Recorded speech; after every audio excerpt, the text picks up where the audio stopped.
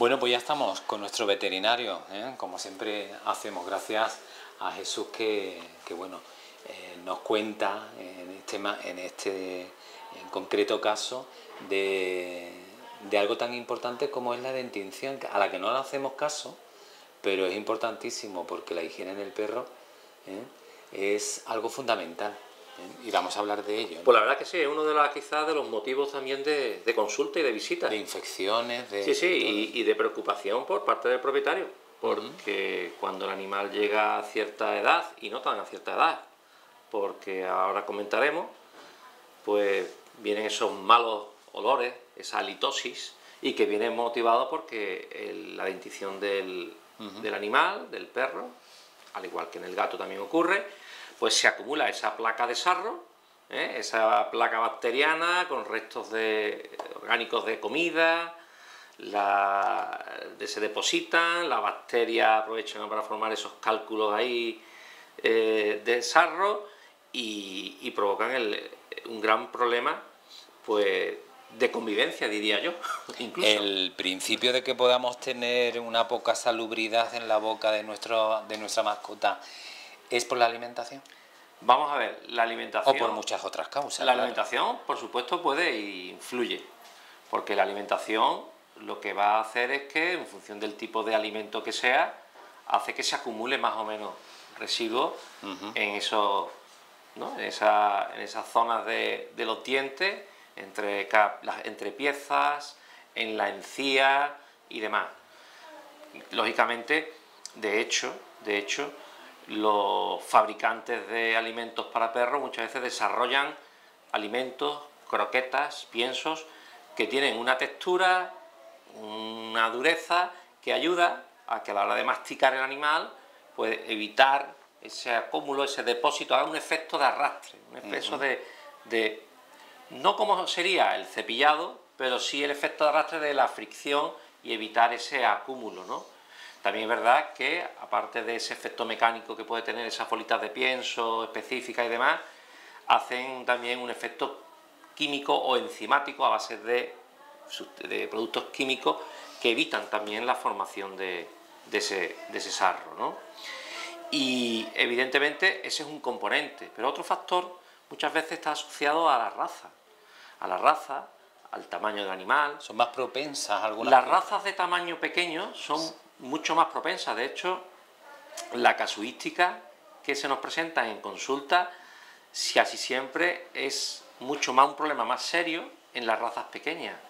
Los yorkies, bichones, malteses, eh, westies, chihuahuas, son razas mucho más predispuestas a padecer estos problemas de dentición.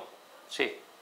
De hecho, ya son razas que desde el nacimiento, desde, la dentición de, leche, ¿eh? porque hay que saber que los perros y gatos tienen su dentición de nacimiento, que van a ir mudando con el paso de los meses, va mudándola hacia la dentición definitiva. Pues muchas veces estas razas pequeñas, problemas de retraso en expulsar esos dientes, los dientes de los colmillos de leche que se le quedan retenidos, ya es el inicio de, la posibilidad de empezar a acumularse el sarro.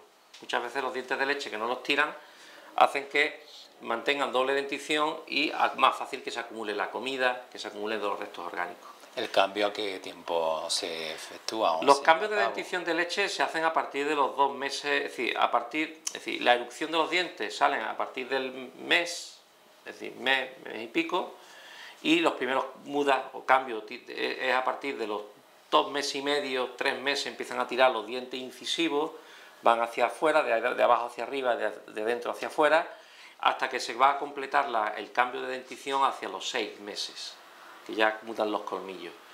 Y ya en la dentición definitiva, ahí es donde sí que es verdad, bueno, debe de empezar, la higiene bucodental debe de empezar antes, debe de empezar ya desde pequeñitos, incluso con la dentición de leche. Hay que ir acostumbrando al animal a que nosotros manipulemos, manipulemos la dentición.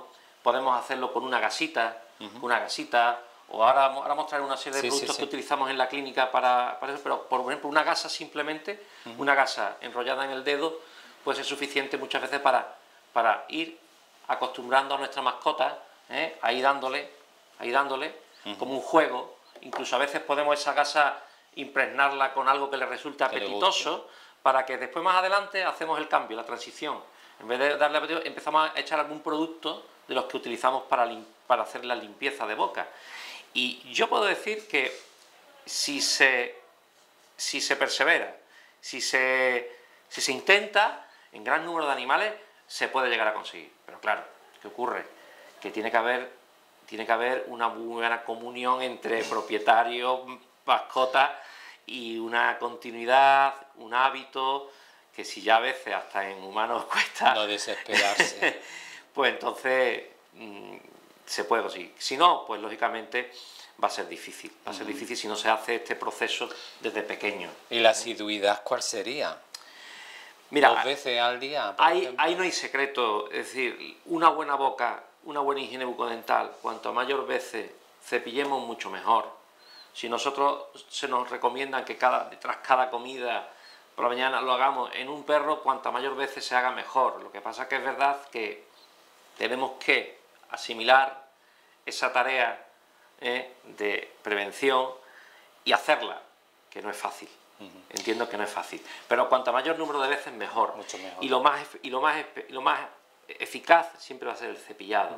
El cepillado utilizando productos eh, que se utilizan para tal, pastas dentales para perros, para gatos, con diferentes tipos de tecnología, ya hay veces algunos que aparte del, efecto de, arrastre con el cepillo incorpora productos que lo que hacen es también eh, actuar sobre esa placa bacteriana de forma más específica y eso es lo más efectivo.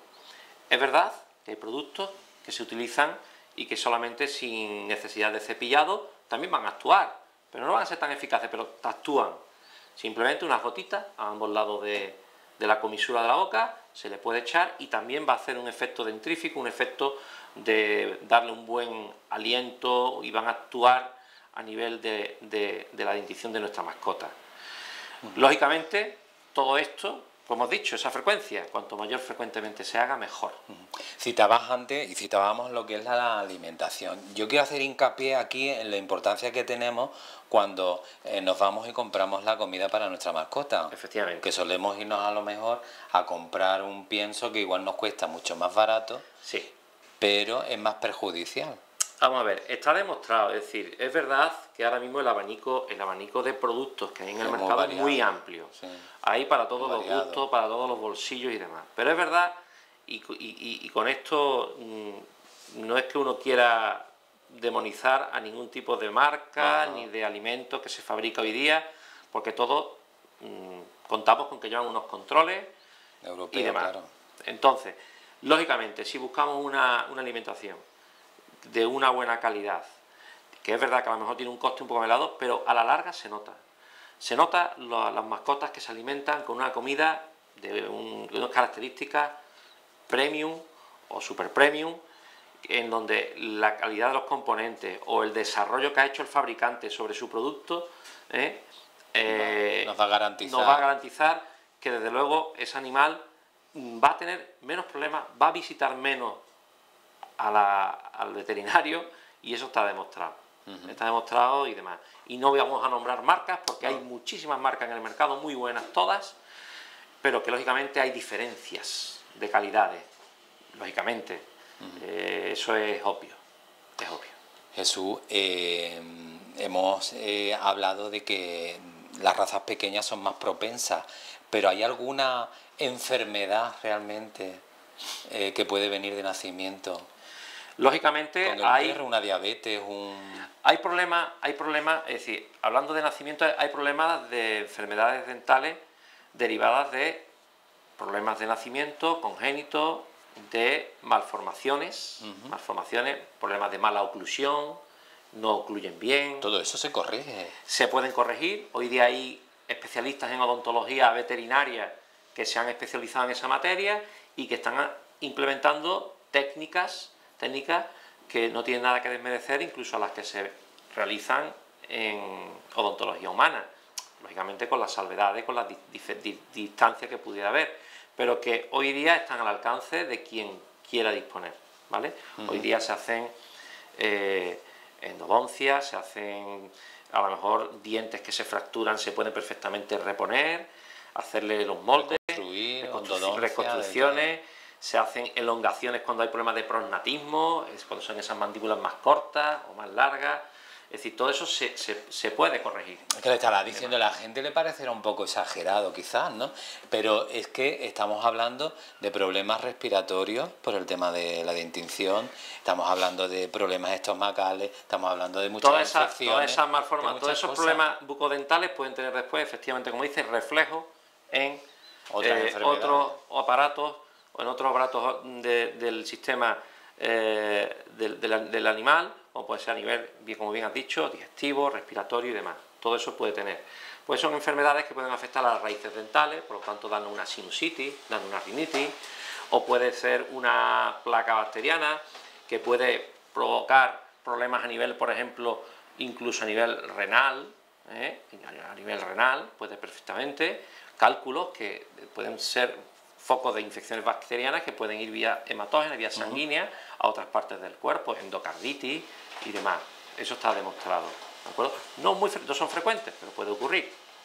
Por lo tanto, importante dedicar eh, ese apartado a eh, la enfermedad, eh, a la enfermedad de a enfermedades bucodentales y especialmente la, enfermedad periodontal. Que como puedes ver en este cuadro que he querido poner aquí, para que nos sirva de ilustración, pues tenemos aquí una, una boca súper sana, pero ya empieza a haber una fase 1 donde hay una inflamación, puede haber una inflamación leve de la encía, aquí mostrada con esta coloración colorada, y vamos a ver cómo va evolucionando por fases y cómo se va eh, depositando eh, depósitos de cálculos en el diente que van haciendo, van incrementando la capa, va afectando cada vez más al borde gingival, de manera que al final lo que hace es inflamar mucho más debilitar el ligamento periodontal. ¿Y qué nos encontramos? Pues que hay retracción de encía, bocas con este estado y dientes que se van debilitando y que al final tenemos que extraerlos.